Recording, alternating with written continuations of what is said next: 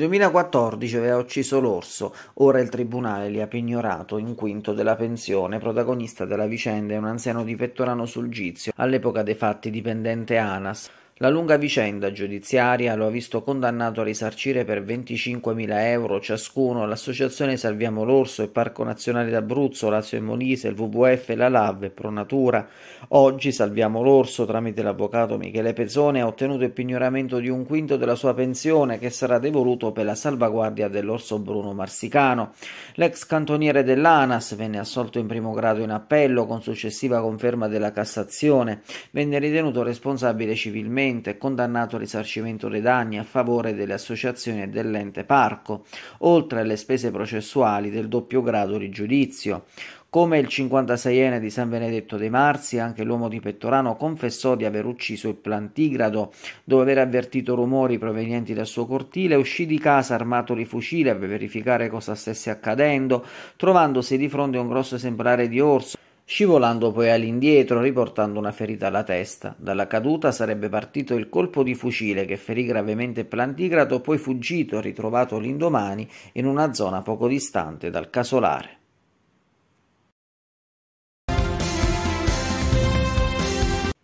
Tempi più lunghi per il reclutamento dei primari degli ospedali della ASLA Vezzano su Mona L'Aquila, tutto da rifare. L'azienda sanitaria con apposita deliberazione firmata dal direttore generale Ferdinando Romano ha proceduto in autotutela alla rettifica dei 25 bandi espletati in precedenza al fine di modificare i punteggi richiesti per il curriculum e il colloquio dei singoli candidati. Contestualmente sono stati riaperti i termini per la presentazione delle domande per un periodo di ulteriori 30 giorni che decorre dalla pubblicazione pubblicazione dell'avviso di rettifica sulla Gazzetta Ufficiale.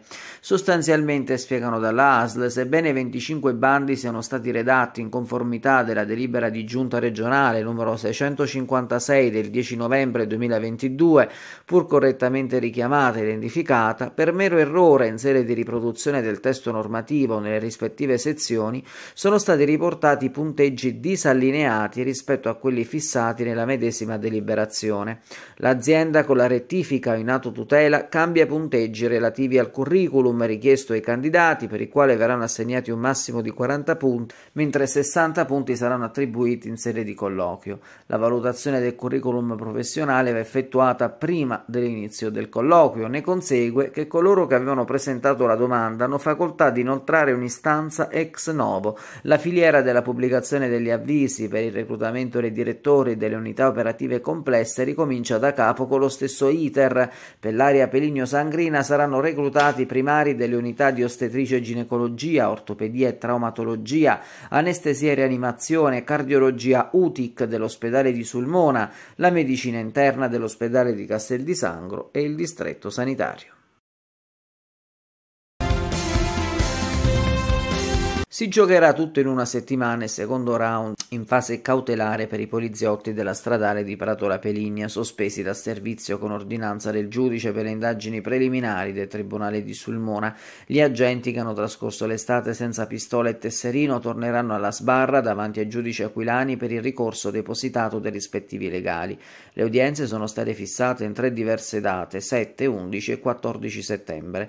Nel giro di una settimana si saprà se i 10 potranno tornare tornare o meno in servizio. Le accuse a vario titolo sono truffa e falso ai danni dello Stato, peculato, furto, omissione d'atti d'ufficio, omissione di soccorso, interruzione di pubblico servizio. Per i difensori si tratta di un provvedimento generalizzato che non tiene conto nemmeno di alcune condotte episodiche contestate che in alcuni casi farebbero venir meno la continuazione del reato secondo la tesi dei legali che hanno eccepito pure l'eccezione preliminare della competenza territoriale. Per i GIP del Tribunale di Sul Sulmona, che aveva accolto appieno le richieste del sostituto procuratore Stefano Iafolla, gli accertamenti investigativi hanno consentito di ricostruire la sussistenza di un sistema seriale di condotte attraverso le quali un gruppo di agenti di polizia stradale ha anteposto in modo ostinato e reiterato il soddisfacimento dei propri interessi personali al diligente adempimento dei doveri istituzionali, in pregiudizio dell'intero sistema di sicurezza, prevenzione e soccorso della viabilità sul territorio di competenza. In tre anni di indagine dal 2019 al 2022 svolte tramite intercettazioni ambientali e telefoniche, GPS e telecamere, i poliziotti avrebbero abbandonato il posto di lavoro per dormire in auto intrattenersi in alcuni esercizi commerciali mentre erano in servizio. Approfittando della propria posizione, tre di loro avrebbero rubato beni di tenue entità patrimoniali in una stazione di servizio. Altri avrebbero inoltre utilizzato auto di servizio per fini privati e sempre secondo l'accusa avrebbero omesso di svolgere rilievi in un sinistro stradale e di prestare soccorso a un veicolo in panne canne, la palla passa ora a riesame.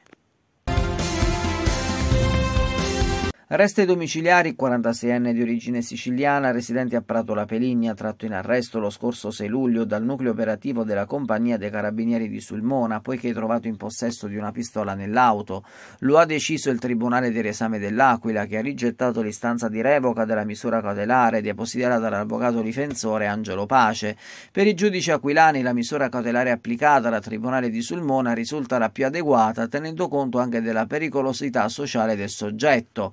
L'uomo era stato fermato all'altezza del posto di blocco nei pressi del casello autostradale di Prato La Peligna con una pistola calibro 765 con 12 proiettili conservati in un barattolo bianco. L'accusa è di ricettazione poiché trovato in possesso dell'arma con codice a braso, detenzione legale di arma da fuoco, detenzione di munizionamento. Il 46enne dal canto suo si era difeso, spiegando di essere appassionato di armi, di aver trovato la pistola lungo l'autostrada. L'arma, a suo dire, mentre sarebbe stata conservata nella vettura ai fini della restituzione, una versione che non ha convinto i giudici del riesame, anche perché l'uomo, come si evince nell'ordinanza, avrebbe conservato e pulito la stessa pistola, circostanza questa che ha spinto i giudici a non credere alla tesi difensiva. Intanto prosegue l'inchiesta di procura e carabinieri, sono in corso specifiche verifiche per accertare se la pistola può essere collegata con le azioni delittuose, per lo più intimidazioni, regolamento di conti, che si sono succedute dall'inizio all'inizio dell'anno in Valle Peligna.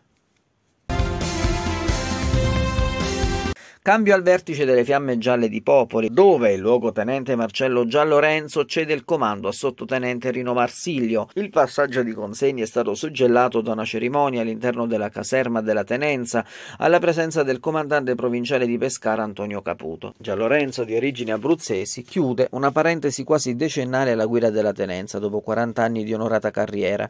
Nell'arco del suo percorso professionale, il luogotenente ha svolto incarichi presso diversi reparti del corpo, dal nucleo di polizia economico-finanziaria di Firenze al secondo reparto del comando generale fino alla compagnia di Sulmona. Per questo è stato insignito della medaglia al merito di lungo comando della Guardia di Finanza. A suo posto è sottotenente Rino Marsiglio, anche lui di origini abruzzesi, laureato in economia e management con importanti pregresse esperienze professionali presso il comando generale, i nuclei di polizia economico-finanziaria di Palermo e Chieti, la tenenza di Egna in provincia di Bolzano, da ultimo il gruppo di Pescara. Celebrati a Sulmona i 60 anni del Sulmona Volley con la presentazione di un libro che reca appunto questo titolo. Gli autori sono Giovanni De Angelis ed Antonio Camplone. Il partecipato evento culturale e sportivo si è tenuto nel palazzetto dello sport, alla presenza di alcuni dirigenti regionali e nazionali della FIPAB, Federazione Italiana Pallavolo. Presente il dottor Domenico Taglieri, presidente della Fondazione Carismac, presenti i numerosi cittadini che in qualche modo sono legati a questo sport, presenti i numerosi giovanissimi delle attuali squadre del volley. Occorre dire subito che Giovanni De Angelis è un pilastro del volley a Sulmona. Un tempo anche lui giocatore, ha raccolto dalle mani di Franco Del Monte il testimone del volley. Del Monte è stato il primo a portare lo sport della pallavolo a Sulmona. De Angelis rappresenta lui stesso, la memoria storica del volley, fino a condurlo all'attuale ASD sul Mona Volley. Come è nata l'idea di scrivere un libro sulla volley? L'idea è nata durante il periodo Covid, quando chiusi in casa avevamo già fatto tutto di tutto, di più, e quindi è partita l'idea di scrivere questo libro al Manacco perché c'è storia e ci sono anche dei dati ufficiali riportati dalla federazione. E il libro ha diverse valenze. La prima è per i tesserati che frequentano attualmente e che devono conoscere per forza di cosa la storia della società di cui fanno parte. La seconda è per tutti gli atleti, dirigenti e presidenti che sono passati nell'arco degli anni e che hanno, dato, che hanno scritto la storia, eh, operando sul campo e dietro le scrivanie. E per ultimo perché questa bella storia eh, non deve finire. Qual è stata la sua collaborazione alla redazione di questo volume? Allora, ehm questo volume nasce, avevo anche detto, dell'unione di altri due libri che erano stati pubblicati in precedenza, uno sui 40 anni del Sumona Volley e uno altri 10 anni di Sumona Volley che era stato pubblicato nel 2013. Il lavoro è stato molto importante perché si è cercato di riunire 60 anni di pallavolo prendendo le notizie dei due volumi precedenti e mettendo in mezzo anche diciamo, le notizie attuali, cercando di non fare un volume che non fosse un'enciclopedia impossibile da leggere. il lavoro grosso è stato proprio quello, quello di cercare di riuscire a condensare bene, rendere leggibile un libro e soprattutto renderlo eh, diciamo, eh, come posso dire, eh, fresco anche dal punto di vista anche delle notizie inserite. Speriamo che il lavoro fatto sia stato, diciamo, venga apprezzato venga dai apprezzato, lettori, eh. soprattutto dai ragazzi, perché noi ci rivolgiamo soprattutto ai ragazzi, perché logico chi ha fatto la pallavolo a Sumona Volley le notizie già le conosceva perché aveva visto i volumi precedenti, c'è un'intera diciamo, eh, parte di ragazzi che sono in questi ultimi dieci anni hanno iniziato a fare pallavolo che non conoscono assolutamente cos'era Sumona Volley, dove ha giocato, dove ha iniziato a giocare, perché ricordiamo che Sumona Volley iniziò a giocare in un campo di una parrocchia sua alla Sant'Antonio, per cui il palazzetto è stato il, il punto d'arrivo alla fine eh, di un, tutto un ciclo che ha portato appunto a questo, per cui i ragazzi devono anche capire cosa c'è stato dietro, i sacrifici, sperando che poi anche loro siano in grado di trasmettere questa voglia di fare che hanno avuto chi li ha preceduti, portandola avanti per i prossimi magari 60 anni, chissà. Il libro si presenta in bella veste tipografica, con significativa copertina raffigurante piazza 20 settembre, con la statua di Ovidio in primo piano. 208 pagine di Trice Stigraff, arricchito da numerose fotografie anche dei primi momenti della vita del volley sulmonese, come dire, foto storiche. Il libro si legge agevolmente, comunque ha un notevole valore di carattere, diciamo, storico, perché oltre a raccontare la storia di uno sport, racconta anche fatti e personaggi della città, come ha osservato Domenico Taglieri. La fondazione di cui lei è presidente è sempre attenta alle cose importanti ed anche allo sport. È così? Sì, eh, non potevo fare a meno di essere presente a questa iniziativa, ce ne sono tante oggi, eh, voi sapete, anche perché qua si parla eh, di 60 anni di storia della nostra città. Hanno fatto un volume eh, dove la fondazione è presente e hanno ripercorso l'attività e il lavoro fatto in questi 60 anni di vita del volley. Questa, questo sport che tutti sappiamo che è stato importato alla fine della guerra dagli americani e che è stato seguito da molti.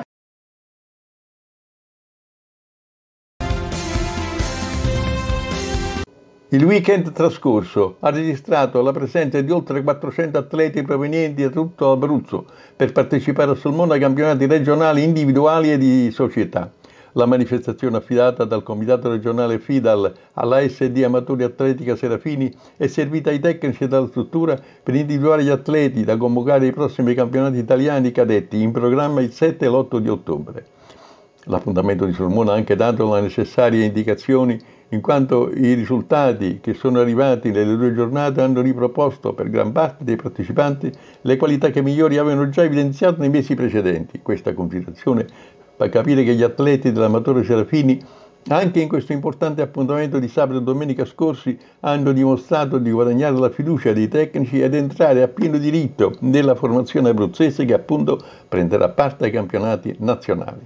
Nell'elenco delle migliori prestazioni ottenute dagli atleti sulmonesi vanno considerate quella innanzitutto di Simone Ottaviani, vincitore dei metri 100 ostacoli con 14,06, Matteo Tiriticco, del peso 12,94, Lorenzo Sito dell'alto 1,72. Nella velocità Sito e Matteo Di Felice hanno raggiunto rispettivamente seconde posizioni con 9,60 e 9,68. Stupenda la prova dei 300 ostacoli per Riccardo Carrozza che si è classificato al secondo posto con il tempo di 44 e 24, dimostrando di essere un atleta in crescita in questa specialità. Anche Ilaria Ranaldi ha guadagnato il secondo posto nei metri 80 con 10,95, nei metri 300 44,92, dove ha affrontato per la prima volta questa distanza. Secondo posto anche per Susanna Antonelli nel peso con 8,64. Altri risultati importanti sono stati conseguiti da Lisa Cagnone, Maria Elezzi, Matilde Valente, Giorgio Portaluri, Sofia Carnevale Cristian D'Abenzio. Al termine delle gare, sei atleti dell'Amatori Serafini, ben sei atleti, lo ripetiamo, sono stati convocati a Camerino per un raduno di controllo che precede i campionati nazionali di ottobre. Simone Ottaviani, Simone, allora ce l'hai fatta, anche alla grande, sono contento, soddisfatto. Sì, grazie, ringrazio i miei allenatori, Luigi Carrozza, Domenico Carrozza e l'Antonisa Knoll. E sì, dai, è stata una bella gara, aspettavo qualcosa di più, poi ho preso col ginocchio un ostacolo che mi ha compromesso anche il resto della gara, però vabbè, sono soddisfatto. Però hai vinto, sì. questo è importante. Sì, assolutamente. Parlaci di questa specialità che fai. Faccio questi ostacoli da un anno e mezzo e mi sono sempre piaciuti come specialità, forse è la mia preferita e anche quella dove vado meglio e li continuerò anche l'anno prossimo che cambio categoria. Finirai anche tu a, al nazionale? Sì, sono contento di andarci, ancora so bene la specialità che farò, se prove multipli, ostacoli o alto, però è una bella soddisfazione per questi tempi, quindi sono contento. Luigi Carlozza, organizzatore, sempre presente e grande soddisfazione anche questa. La prima soddisfazione è arrivata, è vero? Certo, e questa veramente è un'altra grande soddisfazione perché ormai da anni organizziamo questi eventi in città li organizziamo su un impianto che naturalmente è un fiore all'occhiello, non solo per la nostra città ma anche per l'Abruzzo, perché noi quest'anno abbiamo organizzato addirittura otto manifestazioni qui a Sulmona e quindi abbiamo dato un impulso fortissimo all'atletica regionale. Ecco, oggi sarebbe l'ultimo evento della stagione, per cui dopo la gara di questo pomeriggio eh, naturalmente l'atletica eh, si ferma, se vogliamo. Però c'è il campionato nazionale in ottobre. Sì, difatti questa gara di oggi è la gara più importante della stagione per questa categoria cadetti. E vengono scelti quelli che poi andranno. Esatto, verranno scelti i migliori atleti che poi andranno a fare i campionati italiani che quest'anno si svolgono i primi giorni di ottobre. Noi siamo un po' di parte. SD Nicola Serafini si presenta bene? La Nicola Serafini ormai da anni è una immagine fortissima della nostra atletica regionale. Quest'anno ancora di più perché quest'anno noi abbiamo addirittura sette giovani della nostra società che parteciperanno ai campionati italiani, quindi eh, tra l'altro è anche un primato perché è la prima volta che sette, sette ragazzi, sette giovani della nostra società, della nostra città partecipano a un evento così importante come i campionati italiani.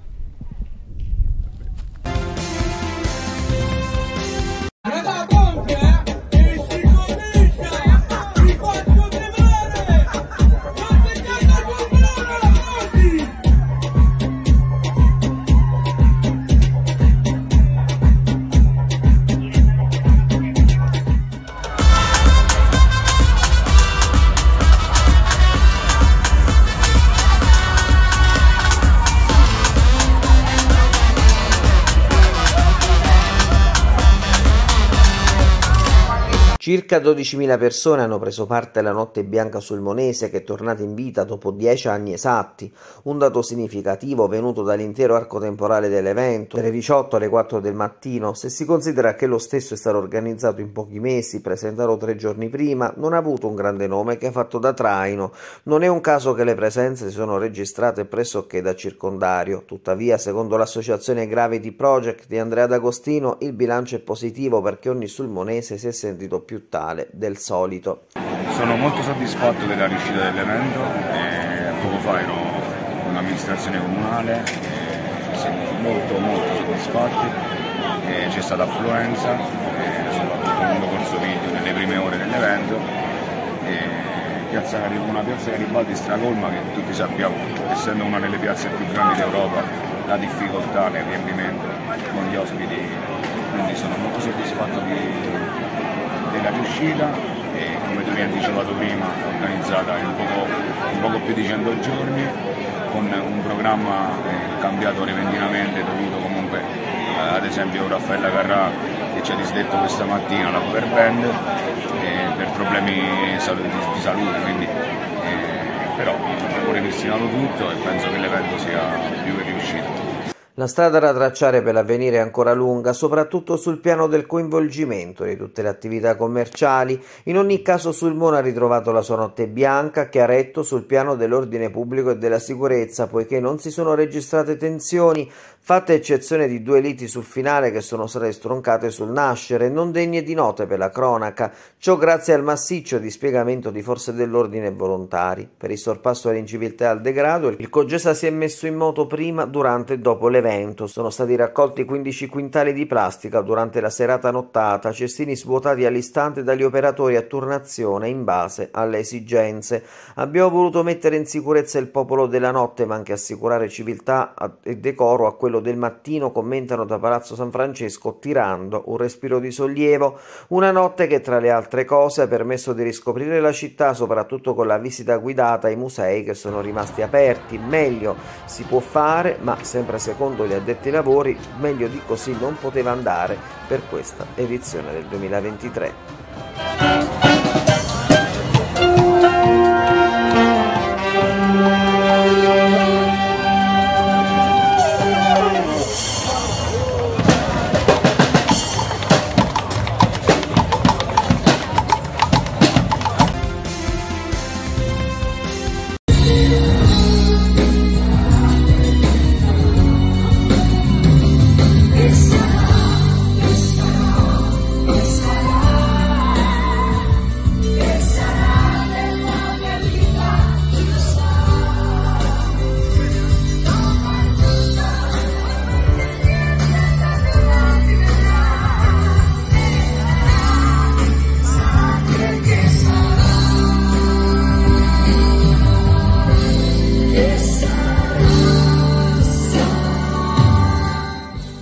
Piazza grevita di gente e tante emozioni a Pacentro per il concerto dei ricchi e poveri, gruppo musicale italiano originario di Genova, formato nel 1967, tra gli artisti italiani con il maggior numero di dischi venduti, con più di 22 milioni di copie. Sono il secondo gruppo italiano per vendite alle spalle dei Pooh. Negli anni 70-80 diversi loro singoli hanno raggiunto la vetta delle classifiche italiane internazionali.